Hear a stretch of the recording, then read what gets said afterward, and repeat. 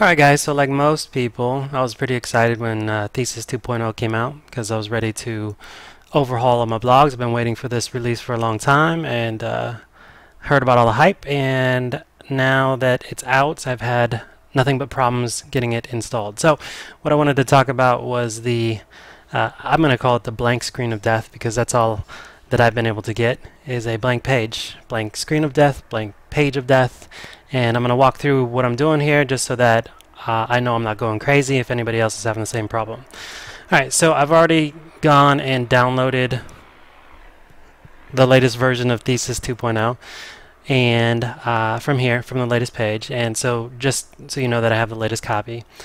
Um, I went ahead and I've downloaded a couple copies and I just downloaded another version because I wanted to make sure that I had the latest again just in case I'm doing something wrong but I'm just going to walk through the process of uh, how I'm installing Thesis 2.0 and um, if anybody sees any issues with the way this is going down uh, feel free to comment in the video below and help me out because it's not working. So anyways, we're going to go ahead and install this now. This is probably the fifth attempt at doing this, um, but we'll, we'll six times the charm. So um, install now. Uh, you know, I've tried live preview in the past and all it does is a blank screen, so I'm just going to go ahead and activate it. And upon activation, uh, I get the, you know, new theme activated. I'm not going to visit the site because last time I did that, again, nothing but a blank page. So from here, what I'm going to go ahead and do is just click over uh, to the thesis menu. And it's probably outside the screen view, but once we get here, there's a big green button uh, click to get started. So I'm going to go ahead and click that.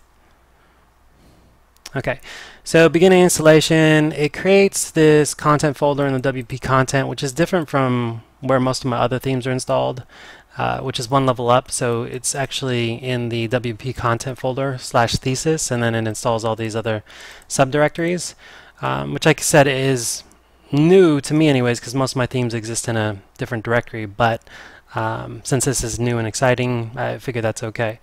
So uh, installation was a success. Return to thesis. Um, so now we're back here, getting started with thesis 2. You know, this, I guess, looks normal uh, as far as I can tell. Uh, here's where I run into problems. Um, you know, when we look at the website, it's blank. And I'm not going to show you that now because I'm going to go through a walkthrough, which everybody is trying to do or says that you should do um, to try to resolve this blank screen of death. Um, and that's going to skin editor.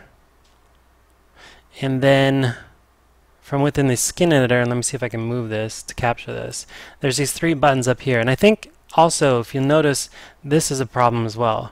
I only have two options here where uh, from other screenshots I've seen the rest of the content here in this particular layout. So I've only got these two options and that's it here. But the hack uh, so far, and the only one that I know of, is to click CSS and then to save and compile CSS. Um, so go ahead and do that. You know, it says you want to save your CSS and compile a new thesis style sheet. Yes. Do that. CSS saved. Um, and from here, supposedly, you know, if you view your site, you should have an, uh, a website, a thesis looking site, as far as I could tell. The back end looks completely new. Um, I haven't messed around with any of this because, like I said, I really just can't get past a blank page, um, which is unfortunate because I'm really looking forward to, to testing out Thesis 2.0. Um, so anyways, let's get on to the major problem. And so this is more or less it. I end up with this thing down here. So nothing but a blank page everywhere. Uh, I've got the submenu here. So I've got my typical uh, admin screen. Um, but down here, nothing but this home and click to edit. And then when I click to edit, uh, it just dumps me back into the backend editor. And from here, uh, there's just nothing going on. Just can't do anything. I can reorder this, um, which works, uh, but I just can't seem to add any content to this section here and anything I've done, anything I've tried just hasn't worked. So if anybody's having the same issue, uh, let me know in the comments below. Blank screen of death, blank page of death, uh, Thesis 2.0, uh, not having any luck. Uh, help me out if you have the same problem.